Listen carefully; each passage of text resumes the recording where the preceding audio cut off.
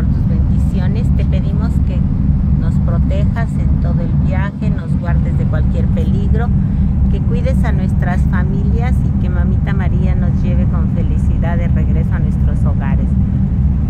Te lo pedimos y te damos gracias. Gracias, Gracias, Señor.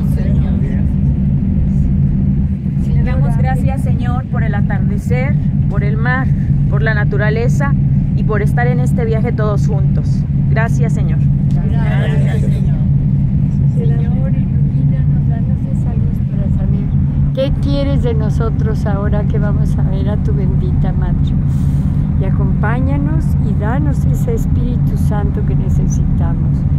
Te damos gracias, Señor. Gracias, Gracias, Señor. Gracias, Señor. ¿Alguien más? Te damos gracias, Señor, por este momento tan maravilloso, por todos los momentos que hemos vivido en este viaje. Gracias porque nos permites ver tus maravillas, conocer personas lindas y acercarnos más a ti cada momento. Gracias, Señor. Gracias, Gracias, Señor. Gracias.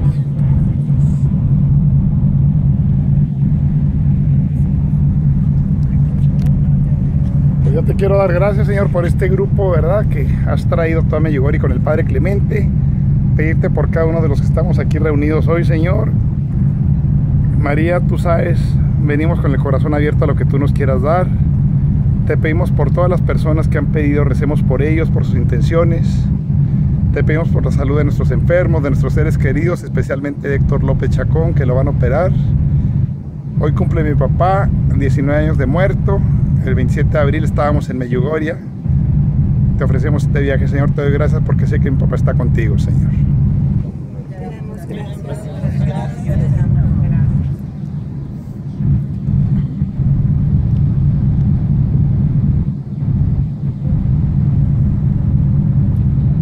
Señor, que este, esta peregrinación sea para aumentar más nuestra fe y que podamos también regresar a nuestra, a nuestra familia, a nuestras parroquias y que seamos ese testimonio de lo que tú quieres. Que en verdad, Mamá María, podamos encontrarte podamos encontrarnos contigo, podamos experimentar tu presencia y así también hablar de ti. Por eso mismo, agradecidos por todo